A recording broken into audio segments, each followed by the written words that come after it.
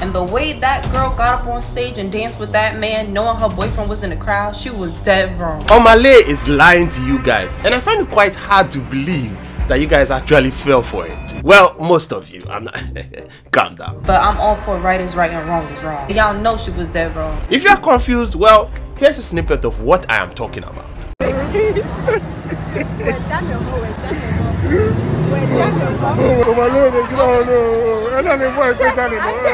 Guys, they are speaking tree right now, and they are saying he has left the girl. That's what they are saying. That girl, no, no, no, she literally asked the girls, was it that bad? It was that bad, girl, like, bro. Well, you were holding the nigga's dick. Yep, that's the woman of the moment, Queen Sheba, holder of pipes. Whew, we are in for some drama today. You're saying he has left the girl and they've broken up. Well, good on his part. So which girl is this? Well, we're about to talk about the girl and how everything theoretically doesn't make sense. To me, to me, that is, you know, I'm hot-headed. I start to be corrected, you know. So, um, to those living under a rock, Omah Lay had a show in London. Yeah. Fuck girls, guys! Fuck women! Ah! we will get there, calm down. It was held at the Eventim Apollo on the 20th of February 2024. And of course, taking a look at the flyer, uh, you could guess Omah Lay's type of songs already. Afro grief. Little did we know that someone else will be grieving tonight. And about Omah shows, uh, the one thing that you need is just handkerchief. Well, some people needed handcuffs because their girls were off the leash. No, I, I didn't. I didn't. Mean, I didn't mean it in that way. so what happened? And not to drag shit. Let's get straight to the point. So Omah Lay did something at the show that got everyone talking. Everyone was talking and it hits every single news outlet. Yes, from Nigeria to UK all the way to US. Yes. Then I asked myself this one question. First of all, why is that even possible? Tell me which type of Omah Lay depressing songs will allow for this type of dance. Then one guitar lick came to mind.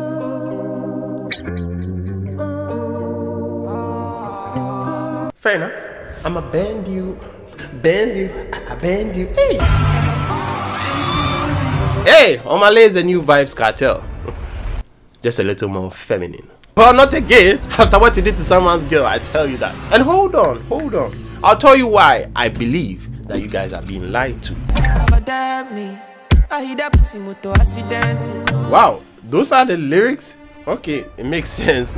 So during this performance, this particular performance, he noticed a girl in the room and then he called her.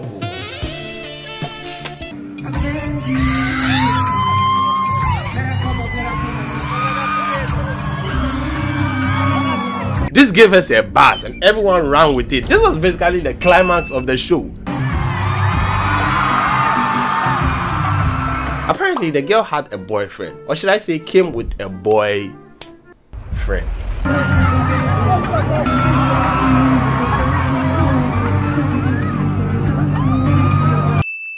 And he was clowned throughout the whole performance because his girl was on stage bending over for Omah Lay. Here's another angle though. Peep, peep this, peep this. He picks her. The guy's like, what the hell? He's like, you baby. He's like, he's like, no, babe, please, please, please. She's like, I don't care about you. I'm going. Bye bye. She leaves. Don't even look at her. She don't say shit. I'm sorry. All I can say is that if it were to be the opposite way round, she won't be laughing like that. Don't start a gender war here. And you could imagine the internet after that day. Think pieces left, right, center. Ah! Relax. Five signs a girl likes you if she does this. I beg you. But uh, something else seems strange to me that night. I cannot be the only one thinking this way.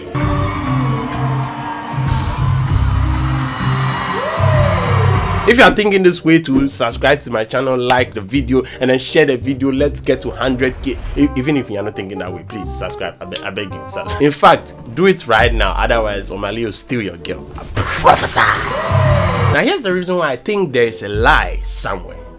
Or I might be wrong. Maybe. Now, if we go back, it seems like everything was done so well.